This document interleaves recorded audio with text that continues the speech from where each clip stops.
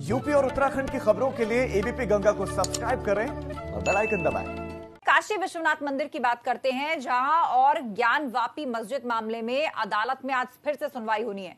पिछली बार कॉन्डोलेंस की वजह से तारीख दे दी गई थी। ये सुनवाई आज दोपहर दो बजे होने वाली है।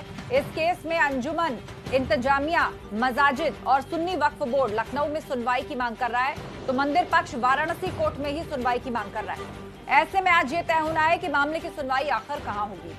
नितेश पांडे का रुख करते हैं। नितेश, आज ये साफ़ हो जाएगा कि सुनवाई वाराणसी में ही होगी या उससे बाहर होगी? किस तरह की दलीलें दी गई हैं? आखिर क्यों वाराणसी कोर्ट में सुनवाई मंदिर पक्ष आता है और लखनऊ वक्फ बोर्ड ले जाने की बात कर रहा है इस पूरे मामले को कि वहाँ सुनवाई होनी चाहिए?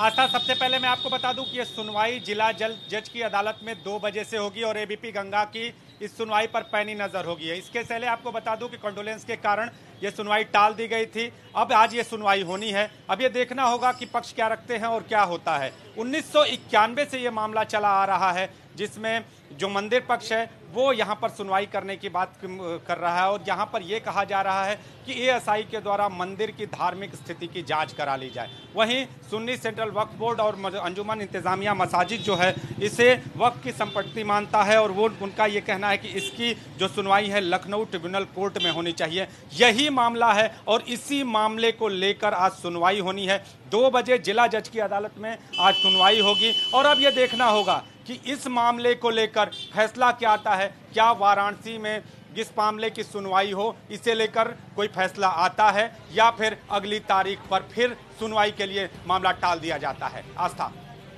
बहुत बहुत शुक्रिया। आप नज़र बना के रखिए, दोपहर दो बजे इस मामले की सुनवाई होनी है और देखना होगा कि मामले की सुनवाई अब वाराणसी में ही होगी या फिर लखनऊ ट्रांसफ़र केस को किया जाता है।